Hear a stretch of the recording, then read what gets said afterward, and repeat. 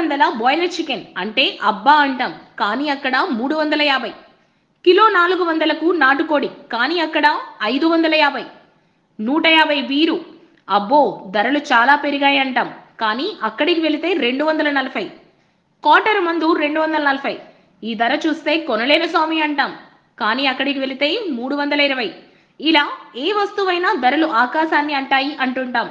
కానీ అక్కడికి వెళితే ఆకాశం దాటి ధరలన్నీ అవతల వైపు వెళ్ళాయి. అయినా అవసరం ఉంది కనుక కొని తీరాల్సిందే. అది ఎక్కడ అనుకుంటున్నారా?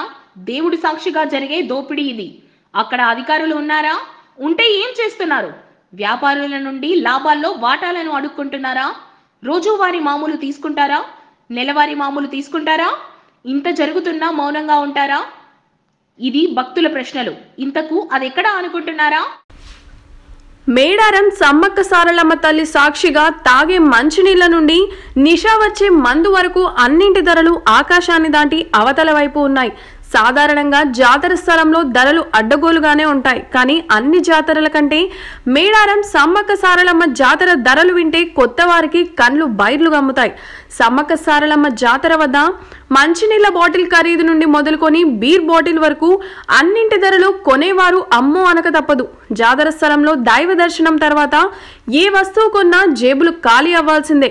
మార్కెట్లో మంచినీళ్ళ బాటిల్ ఇరవై రూపాయలకు దొరికితే అక్కడ దాని ఖరీదు ముప్పై రూపాయలు.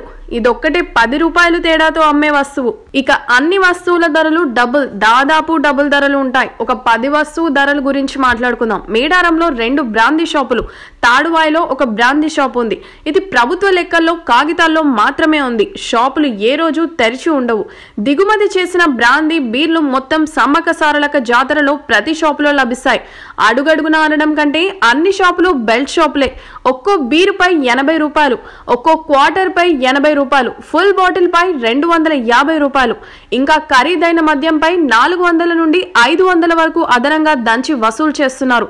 బ్రాందీ షాప్ కోసం వెతికితే ఎక్కడా కనిపించవు.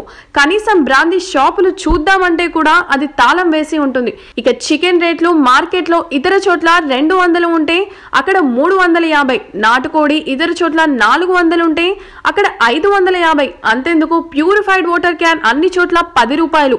జాతరలో మాత్రం నలభై రూపాయలు. కిండి రెండు లీటర్ల వాటర్ బాటిల్ యాభై. డజన్ గాజులు అరవై రూపాయలు. రెండు కొబ్బరికాయలు ఎనభై రూపాయలు. తడకలు రేకులు వేసిన షెడ్డుకు ఐదు వందల నుండి ఎనిమిది వందలు ఇలా చెప్పుకుంటూ పోతే ఒక భక్తుడు అదనంగా తన జేబు నుండి వెయ్యి రూపాయలు జాతరలో కోల్పోతున్నాడు. అసలు జాతర ఎవరి ఆధీనంలో ఉంది? అక్కడ అధికారులు ఉన్నారా? వాళ్ళకు ధరలను నియంత్రించే అధికారం ఉన్నదా? ఉంటే వాళ్ళు కమిషన్లు పుచ్చుకొని ఊరికే ఉంటున్నారా? తూనికైలు కొలతలు వారు ఏం చేస్తున్నారు? ఎక్సైజ్ శాఖ అధికారులు ఏం చేస్తున్నారు? వ్యాపారులు ఎంతకు కొనుగోలు చేస్తున్నారు? తిరిగి వారు ప్రజలకు ఎంతకు విక్రయిస్తున్నారు? ఇవేమో చూసే బాధ్యత గల అధికారులు ఉన్నారా? ఇవన్నీ ప్రశ్నలు జాతర వెళ్ళే ప్రతి వారికి కనిపిస్తాయి. ప్రతి జాతర చోట ఇలాంటి ధరలు మోసాలు ఐదు పది తేడాతో ఉంటే ఎవరు పట్టించుకునేవారు కాదు. కానీ సమ్మక్క సారలమ్మ జాతర వద్ద జరిగే మోసాల గురించి తిరిగి ఇంటికి వచ్చిన భక్తులు వాళ్ళు కొనుగోలు చేసిన వస్తువులు చూసుకొని వామ్మో అంటున్నారు. జాతరకు వెళ్ళిన వారు జ్ఞాపకంగా ఏదైనా వస్తువు కొనుగోలు చేయాలంటే ధరను చూసి జరుచుకుంటున్నారు. ఇదేం ధరల మోసమని ఎవరైనా ప్రశ్నిస్తే అవును ఇక్కడ ఇంతే. ఇక్కడ భూమిని షాప్ కోసం వాడుకున్నందుకు ఏడాదికి లక్ష ఇస్తాం. మరి ఆ లక్ష ఎలా రికవరీ చేసుకోవాలి. ముందుగా దాన్ని తగ్గించండి. ఈ ధరలు మేం తగ్గిస్తామంటున్నారు. ఎందుకైనా మంచిది. జాతరకు వెళ్ళేవారు కొంత సామాగ్రి జాతరకు పది కిలోమీటర్ల దూరంలో ఉన్న గ్రామాల్లో కొనుగోలు చేయండి. లేదంటే మీ ఊర్లోనే కొనుక్కొని తీసుకెళ్ళండి. అడ్డగోలు ధరల భారం తప్పుతుంది. లేదంటే సమ్మక్క సారలమ్మ తల్లి సాక్షిగా మీ జేబు ఖాళీ అవ్వాల్సిందే.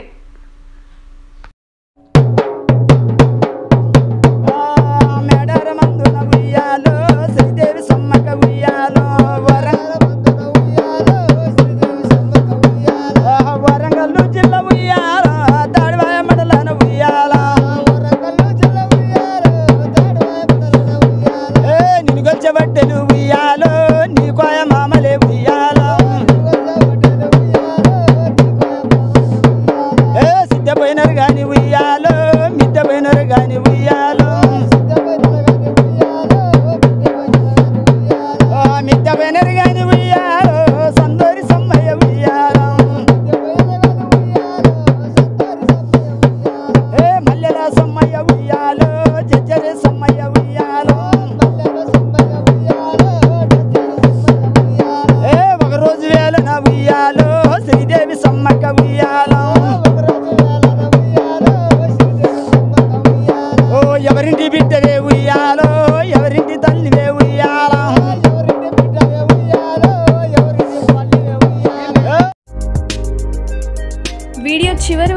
చూసినందుకు ధన్యవాదాలు. ఇలాంటి మరెన్నో రాజకీయ వార్తల కోసం మన ఛానల్ సబ్స్క్రైబ్ చేయండి.